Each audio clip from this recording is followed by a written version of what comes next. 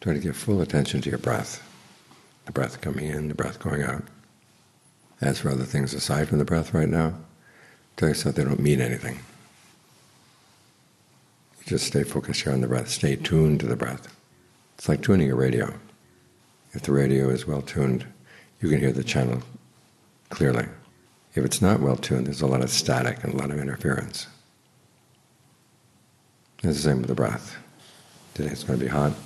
You can think about how hot it is. It doesn't change the heat, it just makes the mind more upset. So give the mind good work to do. Just tune into something else, tune into the breath. Or you can tune into goodwill. Think of all the beings out there in the world and how you don't want anybody to be suffering. You don't want anybody to be doing the causes of suffering. That's a refreshing thought, that you can sit here even though it's hot, but you are generous enough to be thinking about others, not just about yourself right now. In other words, when you're meditating, you find the right frequency to tune into. And stay tuned very clearly, very precisely, right there. Because what are you going to do about the heat? Well, you find a cooler place, Make sure you get enough salt today, enough water. And then give your mind something better to do. And thinking about the heat. You can think about goodwill, you can think about the breath. You can think about the bones in your body.